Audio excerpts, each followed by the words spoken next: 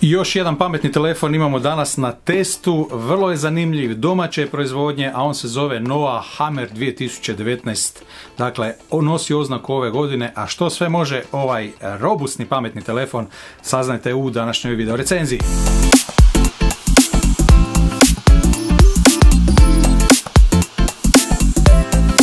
Lijep pozdrav svima još jednom, dobrodošli na naš YouTube kanal portala računalo.com, moje ime je Božidar Komarić, a danas se također družimo uz još jedan zanimljiv pametni telefon, uz još jednu kratku ali slatku video recenziju. Naravno sve one detalje to možete pronaći uvijek na našem portalu www.računalo.com gdje se nalazi detaljna recenzija ovog pametnog telefona, ali i svih drugih pametnih telefona koje inače snimimo kao video recenziju. U samom videu ne možemo vam baš sve pokazati, ali zato u detaljnoj recenziji na našem portalu imate zaista, zaista sve podatke.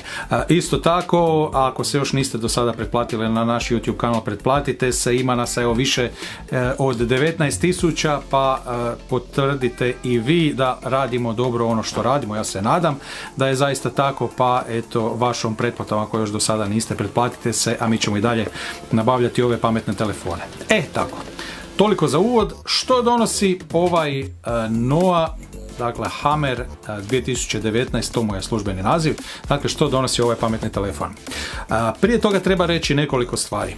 Ako se sjećate, prije nekoliko godina smo testirali prvi Noah Hammer, imao je oznaku Hammer LE ili to je bio Hammer Light, da tako kažemo.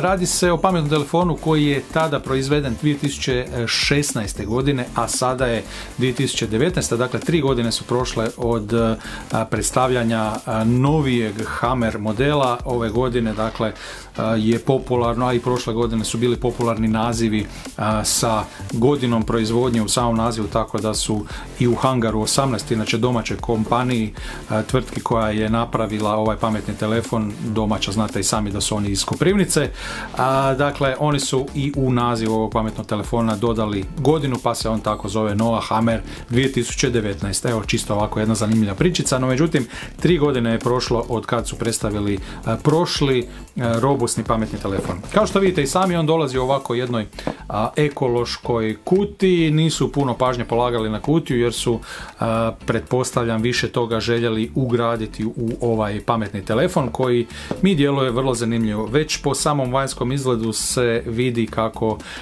je dosta, da tako kažem, napredovao u odnosu na onaj model od prije tri godine koji je bio onako malo, ajmo reći, kabast ili povelik ali ovaj više nalikuje da tako kažem na normalne pametne telefone i pa malo je teže prepoznati da se radi o robustnom pametnom telefonu koji je i vodootporan, otporan na prašinu, udarce i tako dalje i tako dalje. Dakle, ovo nije pametni telefon za svakoga, ako ćemo to tako reći, nego se radi o uređaju koji je u prvom redu e, namijenjen onim korisnicima koji ga žele koristiti na otvorenom prostoru, dakle i u nekakvim e, skladištima ili na terenu ili u, na recimo nekakvim građevinskim radovima, da tako kažemo, skelama i tako dalje i tako dalje.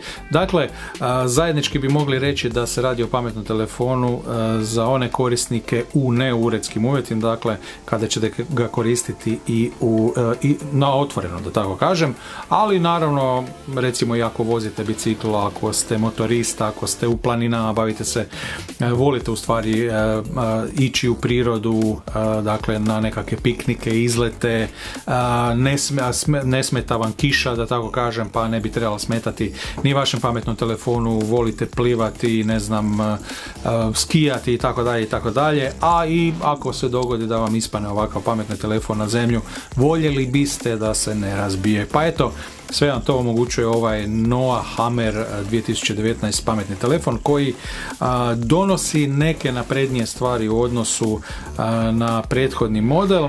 hardverski nije toliko previše napredovao, no međutim to ću vam sve pokazati u nastavku gdje su njegove prednosti, odnosno gdje je sve napredovao i na kraju ćemo naravno se orijentirati i na one završne informacije te saznati koja je njegova cijena. Idemo prvo zavjeriti u kutiju.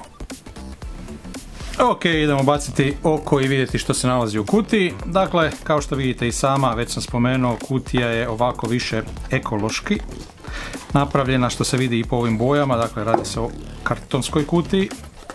na samom vrhu tu se nalazi naš pametni telefon evo kojeg sam i upalio, no idemo mi prvo zaviriti u samu kutiju i vidjeti što se sve nalazi u njoj, da vidimo kakve smo, da li smo dobili nekakve korisne poklončiće, evo dakle osnovni podaci o ovom pametnom telefonu gdje se nalazi svi utori i tako dalje. Kratka uputstva, dakle za ovaj pametni telefon što uvijek korisno. Slušalice crne boje, ovo je USB Type-C kabel, to možemo vidjeti po ovome tu. Dakle, to smo vidjeli. Ovo je, ovo je, mhm, to je znači USB OTG kabel. Stvari možemo ga i otvoriti i pogledati.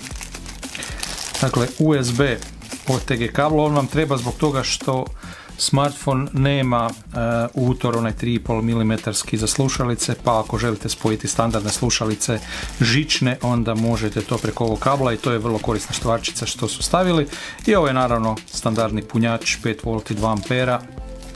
E, to piše i ovdje 5V i 2 A. Dakle, ovaj smartphone podržava a nekada je to bilo brzo punjenje, danas ćemo to zvati ubrzanim punjenjem s obzirom da postoje oni zaista jako, jako brzi punjači koji nevjerojatnom brzinom pune baterije pametnih telefona, ali eto, dakle, vraćamo sve nazad i mi se idemo posvetiti ovom našem pametnom telefonu. Kutija sa strane, a ovo je naš pametnjaković. Dakle, ovako izgleda e, ovaj pametni telefon koji čini mi se ovako vrlo zgodan, zanimljiv i lijep gotovo je teško prepoznati da se radi o robustnom pametnom telefonu, no evo recimo ovo su prve neke stvari po kojima bih mogao prepoznati da se radi o robustnom pametnom telefonu jer svi ovi utori su zaštićeni da tako kažem sa ovim gumiranim zaštitnim poklopčićima i dakle ovo je USB Type-C ulaz tako da voda tu ne može ulaziti, a kako se radi u vodootpornom pametnom telefonu, tu nam piše i ovdje, dakle IP68, e, što je certifikat za vodootpornost, otpornost na prašinu, a inače zaista ovaj pametni telefon prvi i glavni naglasak njegov je upravo na njegovoj vodootpornosti i njegovim upravo tim robustnim e, mogućnostima. E, s lijeve strane ovdje se nalazi dakle utor koji se malo teže otvara, ja ću ga probati otvoriti nokto ako ću uspjeti, ako ne, onda zaista ću morati se poslužiti nečim drugim. Ako ne, dakle idemo još nešto uzeti. Samo sekundu, evo jedan šrafan ciger. Pa ćemo s njime ovo pokušati. Evo dakle, toliko je dobro ovo sve izolirano. Evo tu se nalazi utor za, i to onaj hibridni dual sim dva puta nanosim ili e, jedan puta nanosim i jedan puta micro SD. Ono što s ove strane još također možemo vidjeti, a to je e, dodatna jedna tipka koja je dedicirana tipka u stvari koja služi za, evo možemo je stisnuti i vidjeti što će se dogoditi. Evo, upalila se kamera, dakle ovaj, e, ova tipka služi za paljenje kamere, što može biti vrlo ovako korisna stvarčica. S desne strane tipka crna za pojačavanje i stišavanje zvuka, a ova crvena to je za paljenje i gašanje uređaja i to je ovako sve što bi bilo po rubovima. Sa stražne strane vidimo ovo je ovako kao imitacija, da tako kažem, jednog kožnog dizajna, iako se radi o plastici, koliko ja ostajem pod prstima a tu gore nalazimo dvije gornje dakle, stražnje kamere, e, okrugli čitač otiska prsta, dvotonska led bljeskalica i ovdje još neki dodatni podaci. Ovdje tu nalazimo ovo je tu zvučnik, dakle on se nalazi, ne nalazi sa donje strane nego u donjem lijevom uglu sa stražnje strane ovog pametnog telefona. Ovako simpatični su ovi neki e, dodaci kao što je ovo i ovo. U stvari to su samo imitacije, oni nemaju nikakvu funkciju, ali daju ajmo reći takav e, jedan dodatni dizajnerski izričaj, isto vrijedi i za ove tu narančaste dijelove, a i obično ako znate i sami pametni telefoni koji su obično takvih kombinacija boja crni sa narančastim dodacima uglavnom se uvijek radi o robustnim pametnim telefonima.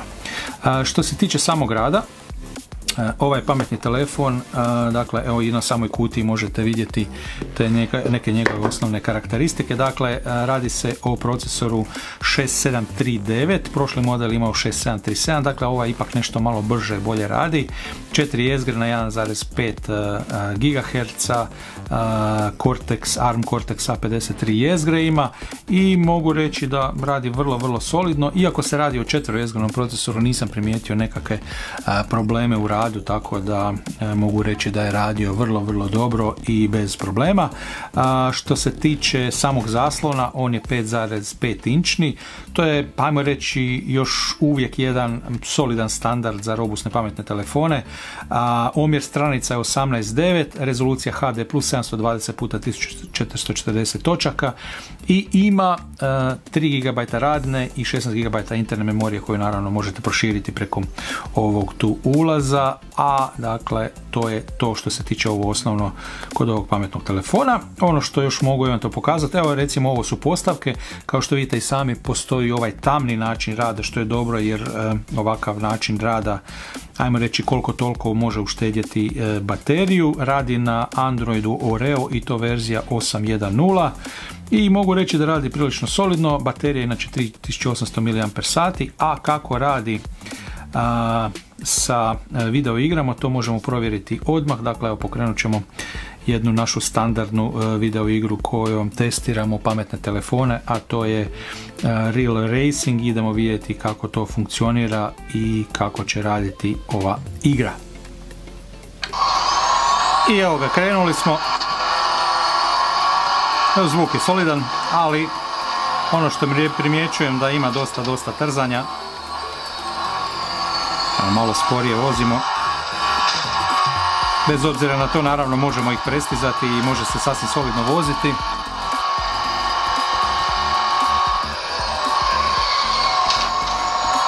Dakle, najviše trzanja vidite po ovim rubnim dijelovima, po drveću koje onako radi trzajuće, da tako kažem.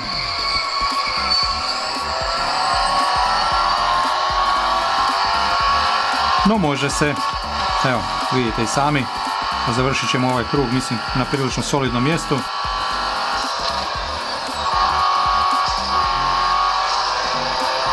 Evo vidite, ide, ide.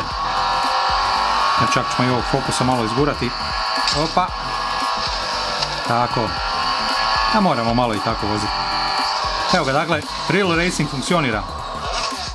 Idemo probati našu omiljenu i vašu omiljenu igru PUBG Mobile.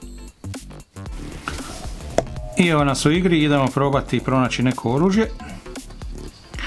Dakle, igra radi malo teže, moram priznati. Grafika je dosta zahtjevna za ovu igru, a, imamo tu neko oružje.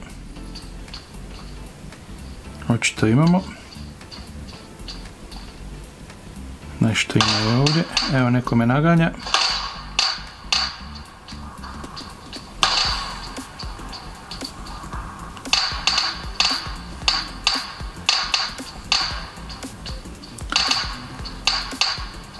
Dakle, neko nas napada. Evo da vidimo ili imamo tu šta zanimljivo. imamo nešto zanimljivo. Hm, samostrel, zašto ne?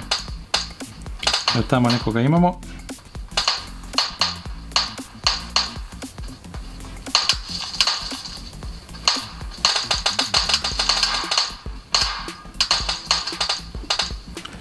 Neko nas napada straga.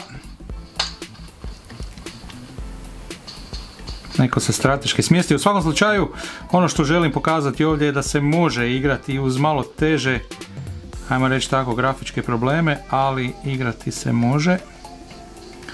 Učinilo mi se da tu ima nekoga.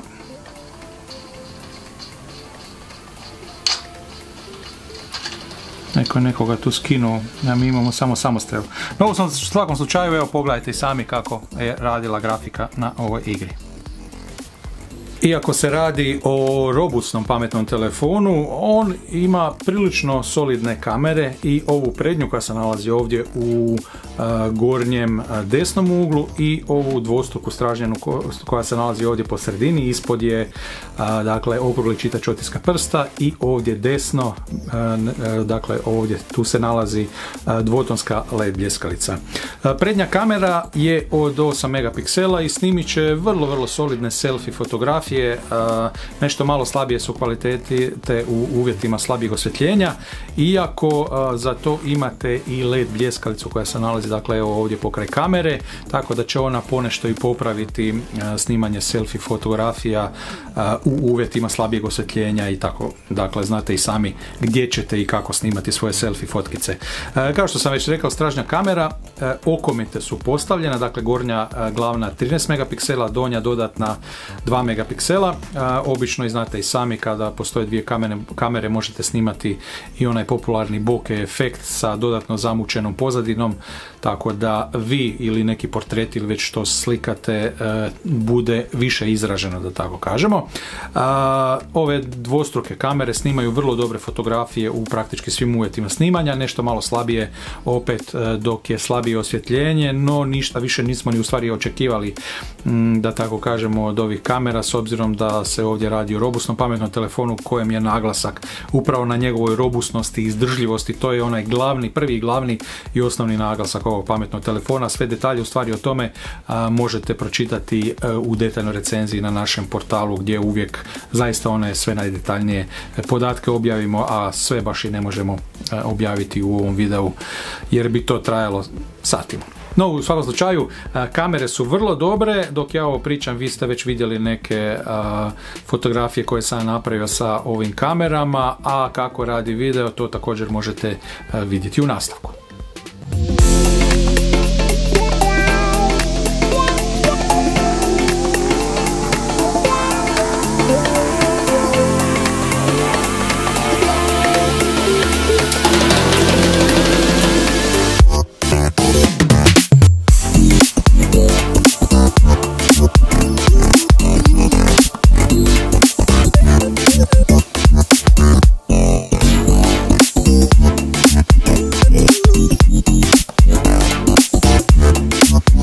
Evo, to je bila simpatična priča o ovom Noah Hammer 2019 pametnom telefonu koji se već nalazi u prodaji, a možete ga pronaći u Hangar ili H18 Megastore, najtočnije rečeno.